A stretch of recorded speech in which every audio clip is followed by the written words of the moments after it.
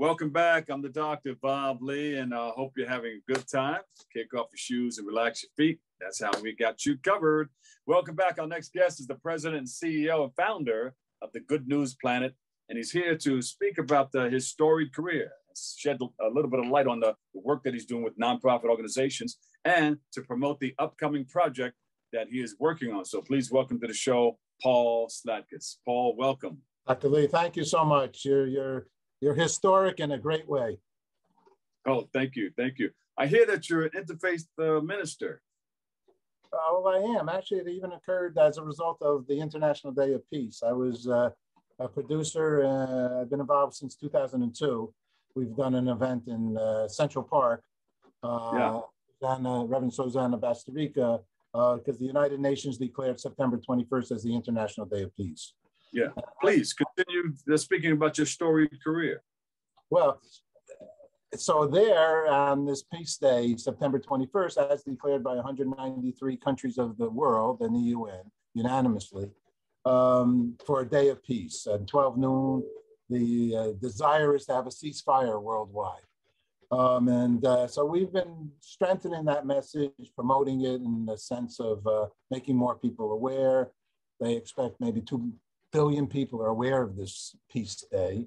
So we need to just keep uh, uh, working hard to keep the message out there and the awareness. You know, uh, Imagine Peace said uh, Yoko Ono, she gave that to us. In any case, but with September 21st, I guess tomorrow, when after your, your show broadcast, uh, we had Times Square. We were gonna, we've been doing it in Times Square also. We canceled Times Square because of the COVID concerns of uh, open area, uh, uh unable to really, you know, deal with it in a, in a honorable way. And uh, so we're gonna broadcast a live show um, uh, from, from here in, in New York for the first hour, starting seven o'clock we started seven o'clock because we did about 120 hours during this COVID time of uh, COVID programs out in the backyard and showing all the good, positive people doing good during COVID, of which, as usual, there's hundreds and hundreds of thousands and millions that are the good guys, good girls doing good.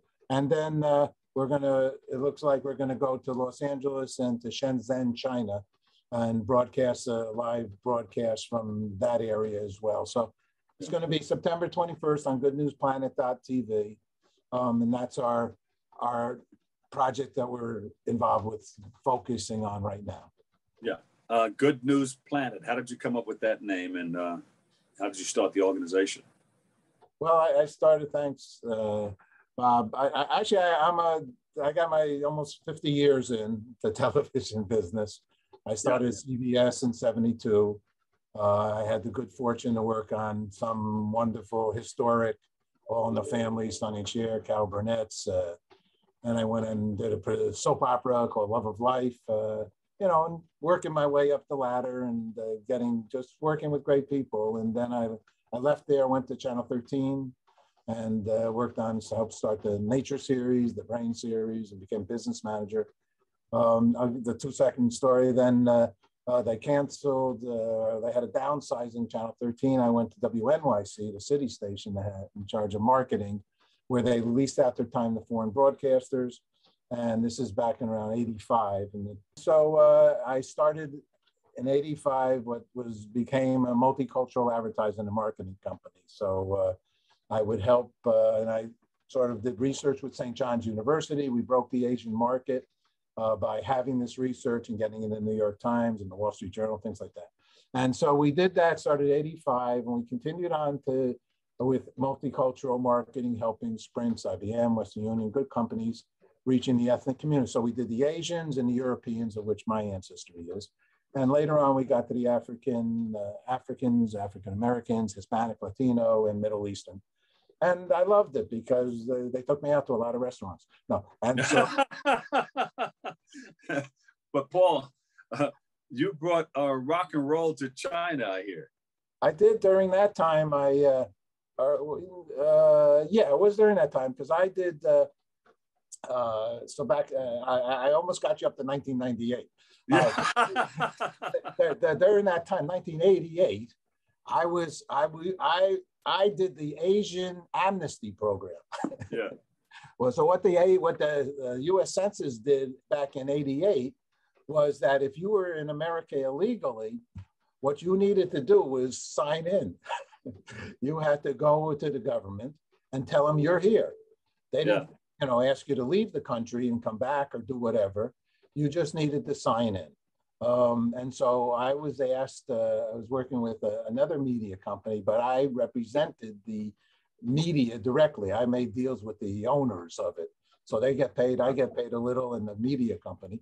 And so I was flying to uh, uh, uh Hawaii to make an arrangement so we could place advertising, the government advertising. And, and I was sat next to a guy named Dr. Don Altfeld. And uh-huh. Dr. Don had written uh, uh, the uh, It Never Rains in Southern California, the Jan and Dean songs. And his yeah. partner was a nice Brooklyn boy called Jeff Barry. And yeah. Jeff had 200 million records. So the leader of the pack, the do run run. The leader of the pack. You know, and so I started uh, helping to, uh, they had it all worked out. And then uh, they asked me to try to find some sponsors and advertisers uh, to go along with it but it was impossible because you could get the advertisers, but they didn't have the products in China because the products in China got sent here. so Nike sneakers were not in China; they were in uh, New York City. So yeah. Whatever. So then I started in 1998. After that, I started Good News Broadcast a long yeah. time ago. Dot com. Some people told me you could go on the internet you can have a TV station, you can have a radio station, you can sell products.